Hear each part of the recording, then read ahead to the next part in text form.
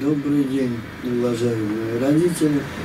Э, мы с вами продолжаем разговор о э, массаже и гимнастике маленьких детей.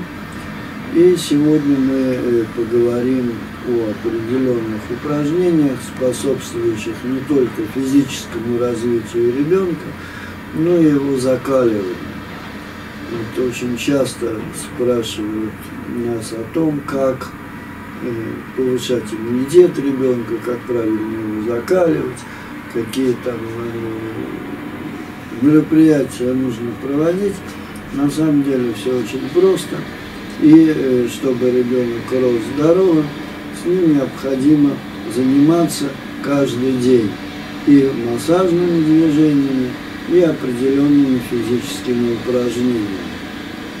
Если вы внимательны к своему ребенку, а я думаю, что все, кто э, меня слушает достаточно внимательно к своему ребенку, то вы замечали, что э, уже у новорожденного малыша есть определенный набор рефлекторных движений, которые он осуществляет, иногда чисто хаотически, но достаточно постоянно. И по мере роста развития э, ребенка э, вот эти движения нужно использовать для укрепления мышечного аппарата малыша. Необходимо помнить, что э, несмотря на то, что я говорю какие-то вещи общие, каждому ребенку нужен индивидуальный подход с учетом его физического развития, его особенностей, его настроения и так далее, и так далее. То есть вы э, из того, что я говорю, совсем не обязательно использовать это полностью. Вы подбираете то, что подходит больше, что малышу больше нравится, и используете эти упражнения, эти движения для укрепления мышцы малыша и для поддержания его хорошей физической и психоэмоциональной форме. Значит, э, ну, кроме индивидуальных подходов, существуют общие правила. Общие правила заключаются в следующем. Итак, первое. Комплекс упражнений должен быть составлен таким образом, чтобы в него входили упражнения на все группы мышц. То есть нельзя заниматься только руками или только ногами, если нет времени. Сократите время на упражнения для ног и для рук, но в одном и том же занятии необходимо прорабатывать все группы мышц, иначе он будет развиваться непропорционально.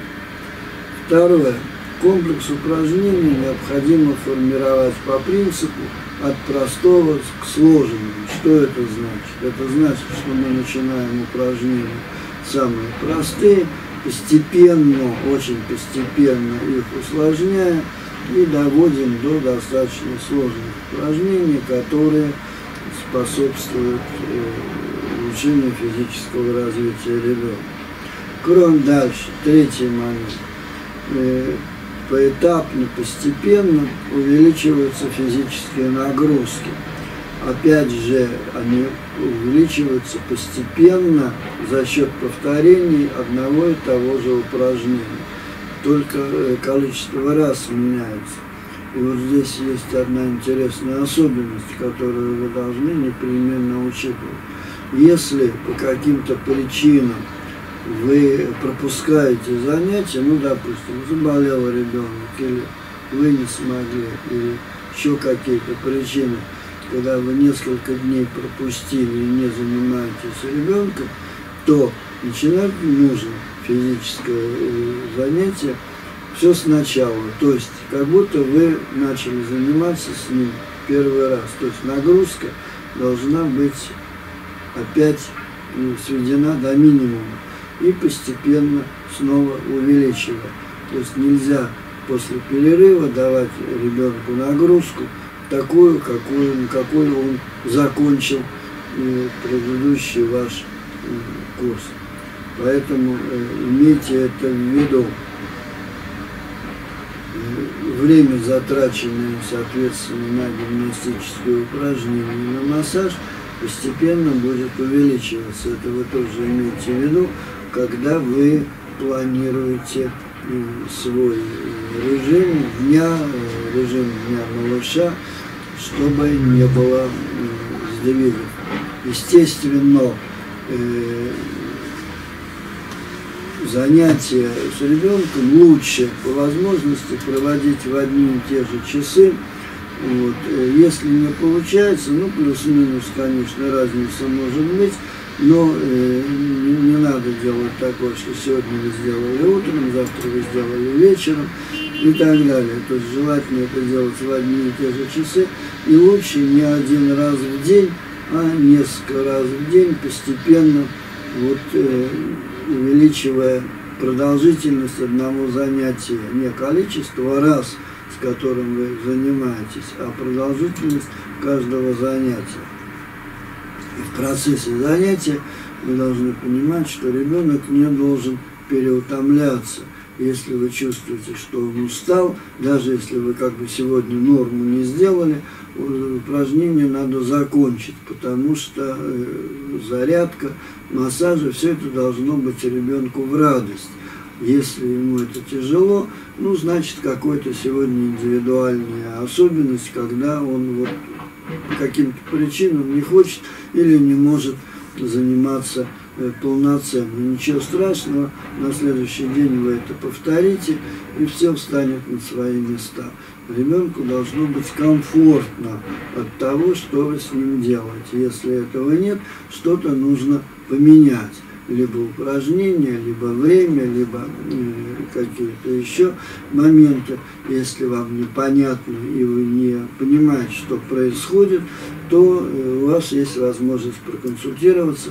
Мы всегда ответим на э, ваши вопросы. В определенный возрастной период ребенка он производит определенные какие-то движения э, все э, рефлексы малыша, э, начиная с новорожденности, они связаны с кожными проявлениями. Поэтому, если вы дотрагиваетесь до кожи ребенка, неважно, спит он или бодрствует, он будет как-то рефлекторно реагировать. И вы должны четко понимать, что у детей где-то до, в среднем до 4 месяцев физиологически повышен тонус.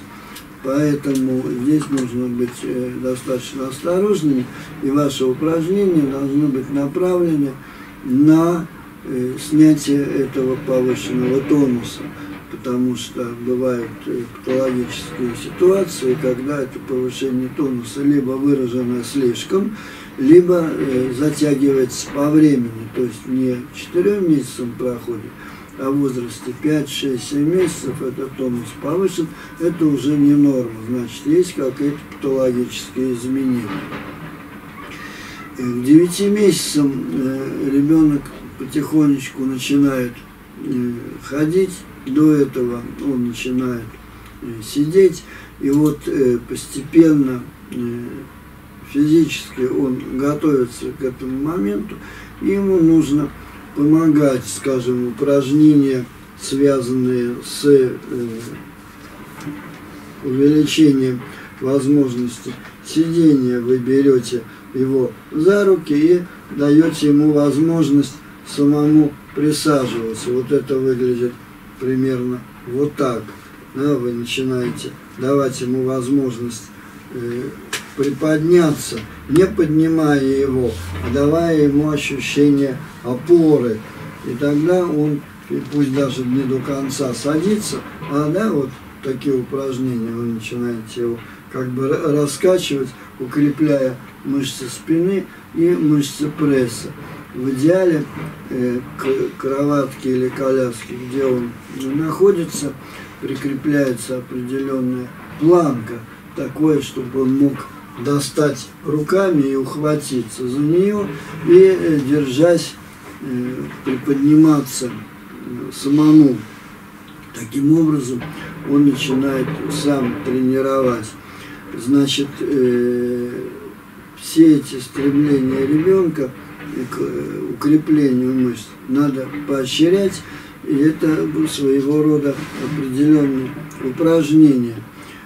Когда ребенок начинает пытаться ходить, вы должны ему э, дать возможность ускорить этот процесс, поощрять, можно начинать водить его за руки, но э, желательно не держась не за кисть, а за предплечье, потому что в случае э, падения или в случае он неожиданно дернется, вы держите за кисть или что еще хуже за пальцы, вы просто можете вытянуть, э, растянуть связки э, лучезапястного сустава или фаланговые связки, ему будет больно. Поэтому вы держите за предплечье ниже, э, вернее выше лучезапястных суставов, вот за эти места держите желательно за две руки, идете впереди, он идет за вами. Э, или можно дать ему возможность опереться на движущий предмет, на коляску, на э, какой-то другой вариант передвижения, или на предмет не движущийся, скажем, кроватка, манеж и так далее, когда ребенок не передвигает этот предмет, а держась за него э, совершает э, движение э, ходьбы. Не надо бояться, не надо пугаться, когда ребенок падает. Это на самом деле, помимо того, что это естественный процесс, это еще и своего рода упражнение. Как странно это не прозвучит, но тем не менее в процессе падения ребенка развивается его опорно-двигательный аппарат. Во-первых, он учится правильно падать, чтобы ему не было больно. Во-вторых, он э, группируется, то есть мышцы начинают рефлекторно э, создавать себе э, как называемую подушку безопасности. И в-третьих, не надо бежать, поднимать и утешать ребенка, надо дать ему возможность встать самому. Это, опять же, своего рода упражнение, потому что в этот момент мышцы его активно работают – на фоне такого вот своеобразного стрессового состояния, которое является падение, э, выявляется выброс э, адреналина, который стимулирует активную работу мышц, и в конечном итоге это приводит к укреплению мышц и вырабатывает связь скелетно-мышечной системы именно вот при для правильного падения и для правильного э, функционирования э, организма ребенка.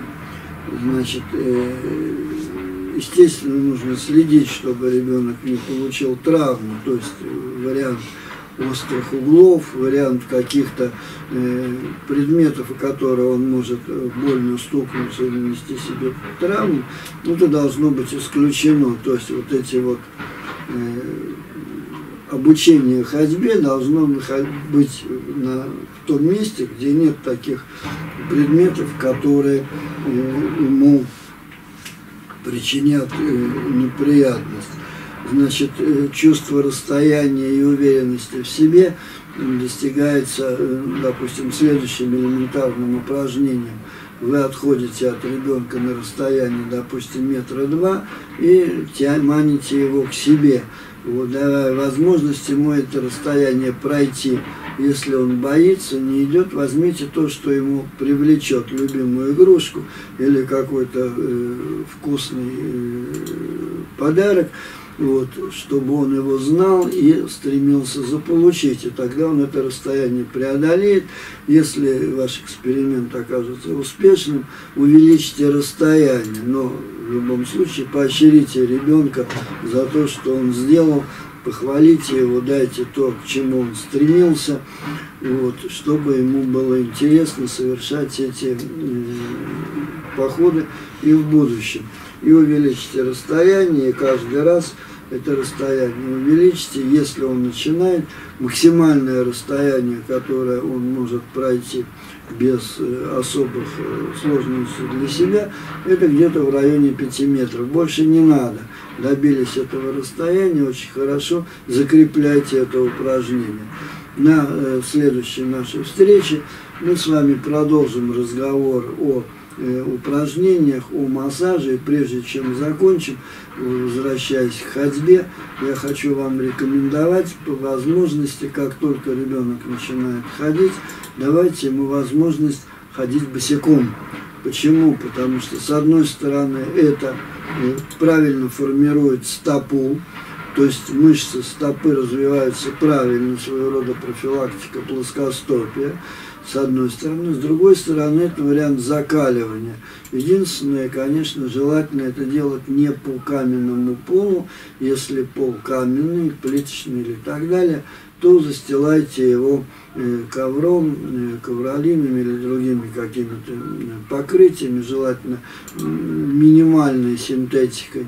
И пусть ребенок ходит босиком, это еще и, повторяю, вариант закаливания, то есть э, рецепторы кожи на стопах воспринимают, там еще и биологически активные точки, воспринимают его как э, положительный такой момент для повышения иммунитета. И я вам э, рассказывал на прошлых наших занятиях, посвященных э, иммунитету, что иногда можно, когда уже ребенок твердо стоит на ногах, да, делать такой э, пляжный вариант, да, то есть мелкие камушки, и дать возможность походить ребенку по камушкам. Опять же, два эти фактора, фактор э, формирования мышц и фактор закаливания, они как бы работают одномоментно. Вот. А на сегодняшнем наша с вами встреча подходит к концу. Я с вами прощаюсь.